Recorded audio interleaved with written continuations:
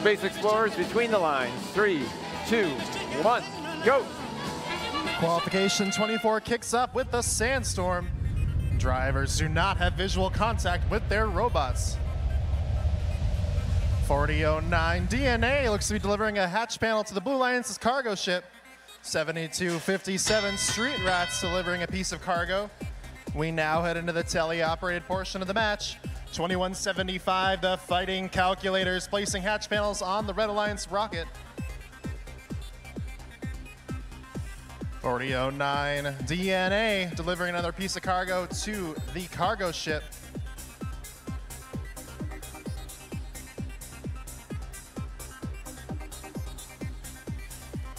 Forty oh nine delivers another piece of cargo. Twenty five hundred places the hatch panel on the Blue Alliance's rocket.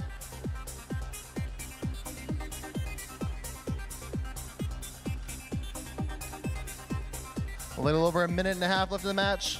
Blue Alliance leads 33 to 25. There's still plenty of time left to change the score.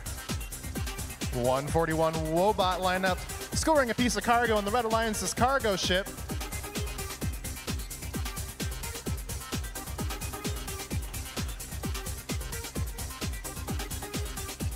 Twenty-one seventy-five went up high there, placing a piece of cargo in the Red Alliance's rocket.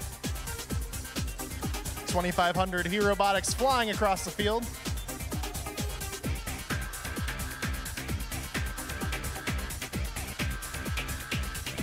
Twenty-five hundred playing some defense over on the Red Alliance's side of the field.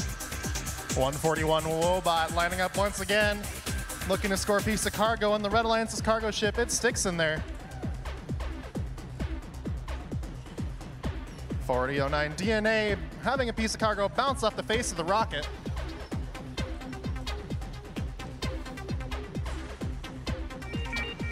Five points separate our teams as we head into the last 30 seconds of the match.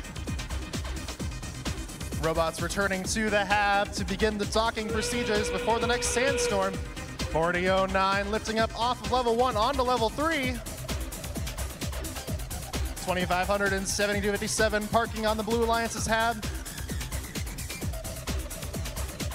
Less than five seconds left in the match. One. And that brings an end to qualification match 24. We'll have your official scores back at you in just a moment. Winning with a score of 70 to the Red Alliance's 55. The Red Alliance takes home three ranking points, two for the win and one for completing HAB docking.